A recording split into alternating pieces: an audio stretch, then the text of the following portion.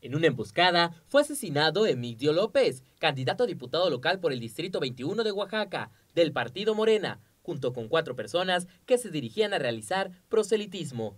Sujetos de San Vicente Coatlán esperaron a los militantes de Morena en el tramo carretero a Ejutla, de Crespo, y asesinaron al candidato y cuatro personas más.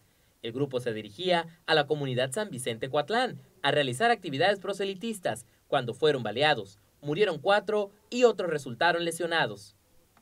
Emilio López era candidato a diputado local por el Distrito 21 de Jutla de Crespo, un municipio con alta marginación localizado en los valles centrales de Oaxaca, al sur de la capital. Para Abacom, Gerardo Amador.